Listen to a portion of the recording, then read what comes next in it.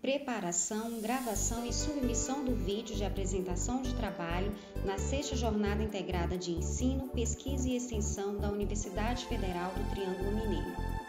Olá pessoal, o objetivo desse vídeo é orientar sobre a preparação, gravação e submissão do seu vídeo de apresentação na sexta GEP da UFTM.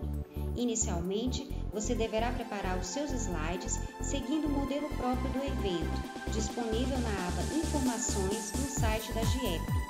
Posteriormente, você deverá gravar a sua apresentação. Você irá precisar de uma webcam e um microfone. Para iniciar a sua gravação, você deverá fazer login na plataforma Google Meet com o seu e-mail institucional.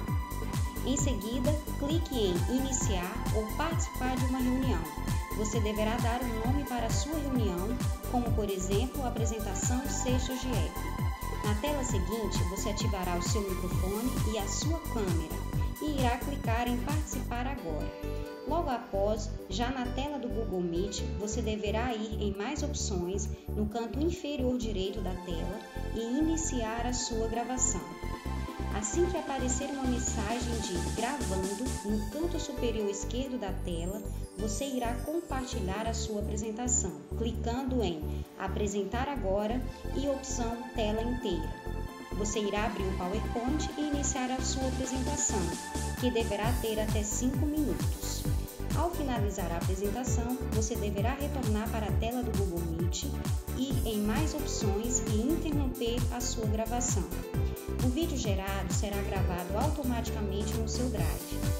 Pronto, agora você precisa ter acesso ao link do seu vídeo para submetê-lo no evento.